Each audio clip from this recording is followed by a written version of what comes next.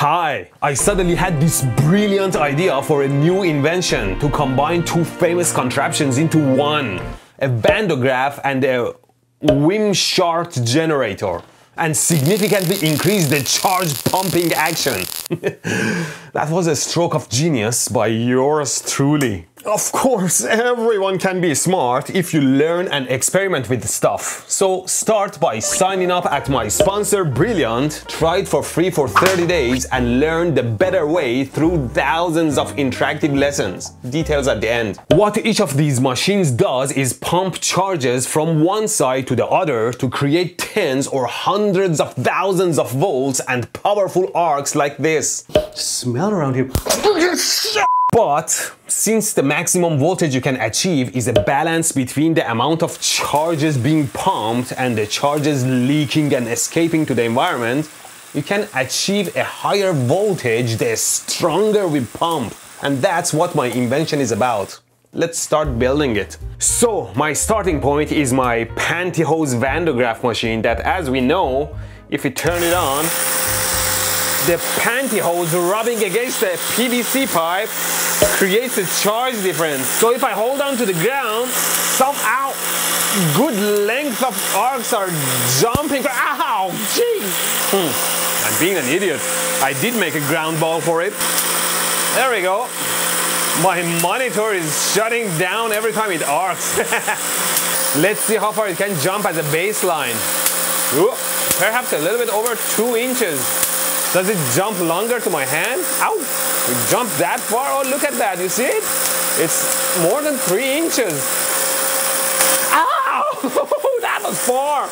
It's jumping over six inches now that I'm just pointing my finger. This indicates how charges out accumulate on a pointy object. Oh. And if it is not pointy, ouch.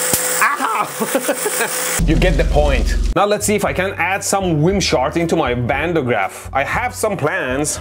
First, I want to cut some pieces from a brass rod.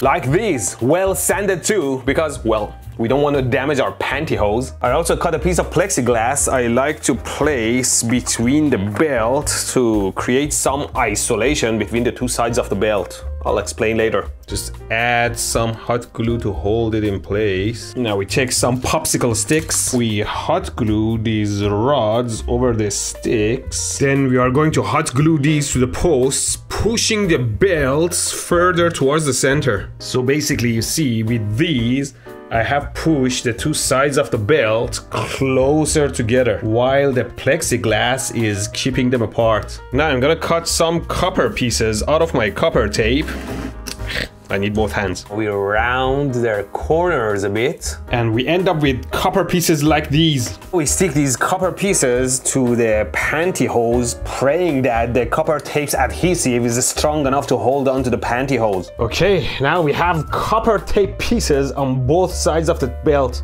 Let's increase the voltage and give it a try. Ah. The hell?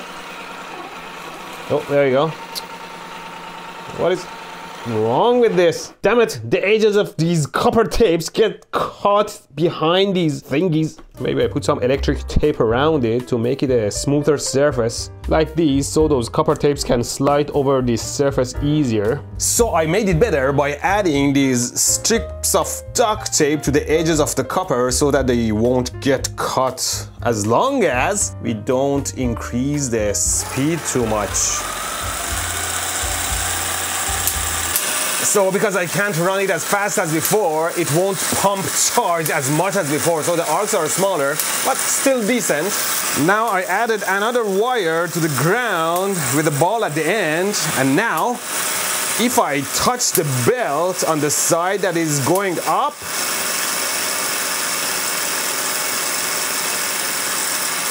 it stopped arcing.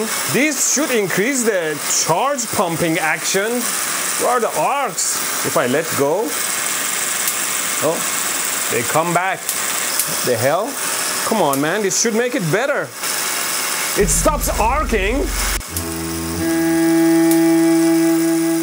Are all my calculations wrong? What if instead of directly touching the belt, I use a comb like this and come close? it dies right away. What the hell? This comb is the same thing as those brushes down there at the same voltage. How come they make it work, but this one kills it? Yeah, the arcs are gone. As soon as I remove the comb, ah, what is going on? Okay, so watch this. We have arcs and we have this comb. Even me holding it up like this with so much distance from those balls stops the arcs. It is sucking enough charges to lower the voltage enough so that no arcs are happening. See, we have arcs. Then I bring this here, not even close, and the arcs go away. Wow. And that's how lightning rods on top of a building can prevent lightning or make them weaker by sucking charges from clouds, reducing them. Well, this wasn't supposed to happen. What the hell, man? I spent a few days analyzing the out of these modifications and I was sure it was gonna work. I was even gonna name it Mehdi Van Shart, my new invention. Oh, there's an S there. What is it? Wimshart? Wimsharst? Wimshurst? Wims... Wimshurst, Wimshurst perhaps. Fine, I could call it Mehdi Van Hurt and not to both inventions and how I put them together, but it's not working, is it? Let me explain what I was gonna do. So as I explained in my old video, Van de Graaff works by triboelectric effect. When two non-conductive material rub against each other, charges from one sticks to the other. In my case, I have pantyhose as belt that goes around PVC. When rubbed against each other, PVC sucks electrons from the pantyhose rotating belt. Those electrons are picked up by some brush charging the top dome negative the positive pantyhose rolls down and sucks electrons from Earth or some adjacent ball and becomes neutral again going up.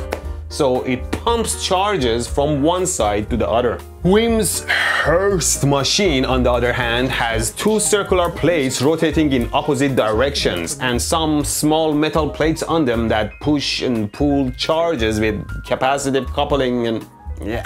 It's more complicated. Rimstar.org has a great video explaining how it works. Watch that. What I wanted to do was pushing the belt sides close to each other while keeping them isolated by some plexiglass. Then similar to a Wimshurst machine, placed copper plates all the way around the belt. My thought process was, why neutralize the belt at the bottom and send it back up while I can pre-charge it with electrons?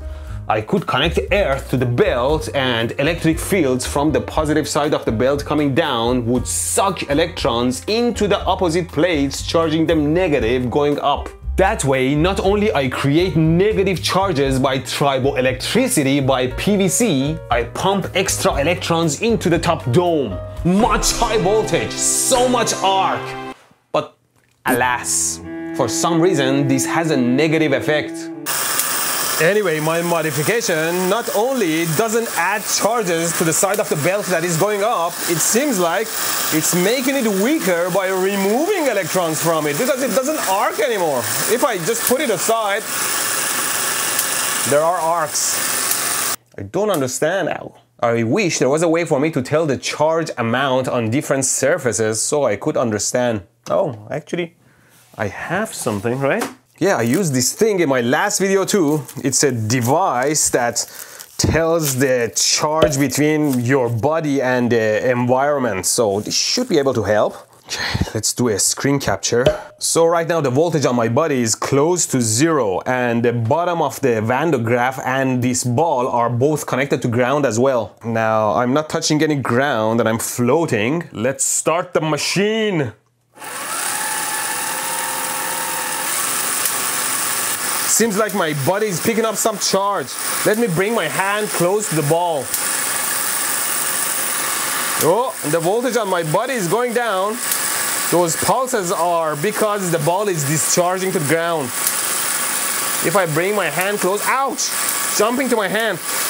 Okay, okay, there you go. Now my body is charged to, to ah! Ouch! Damn it! My leg discharged to the table. Now I'm not touching anything and you can see that my body is becoming negative as I'm picking up charge from that ball. If I bring my hand close, I'm going more and more negative. Ow, ow, ow, ow, ah, ah, ah, okay. Nice, I'm close to minus 20,000 volts. Of course, as soon as I introduce my body, the voltage of the bulb drops significantly because the charges run away from my body. But as soon as I remove my body, the bulb's voltage rises more significantly because the charges don't run away through my body anymore. It is good for a relative measurement, so let's say the ball is at around minus 20,000 volts. Now I discharge myself. Ah, if I touch my side of the belt that is moving up, That's also negative? Negative 12,000 volts? How about the other side of the belt going down? Oh, that side is more positive, which makes sense, but it is still in negative range. So the side of the belt going up is already extra negative for some reason. So it makes sense why it doesn't work. Instead of letting those charges go up, I'm sucking them to ground it seems. Where are they coming from though? I covered my bottom roller with nylon pantyhose so there is no tribo electricity down there because there is only pantyhose on pantyhose action. And why the hell the belt coming down is negative instead of positive? Do the arcs even jump? Okay, let's touch the opposite side going down.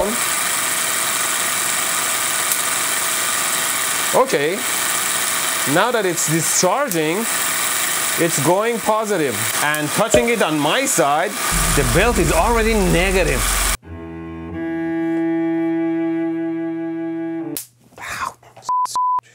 Okay, I have a feeling what might be going wrong here. It is possible that the top dome being very negative and naturally charges wanting to escape now found a way to discharge. Perhaps electrons found their way over the sharp edges of the copper plates, bringing the voltage on both sides of the belt down negative. Although, there is still a big voltage difference between the sides. So initially, when the dome voltage is low, the belt going down becomes positive. But as the dome charges up and charges escape, belt voltage becomes negative. In this case, me introducing the ground actually sucks charges away from the dome faster. This makes me think, what if I just remove all these stupid copper plates I put on here? Kudos to their adhesive though. Now I can't even run it at full speed again. Let's see if it is not weaker than before. Ow! well, it's not weaker if it is not stronger.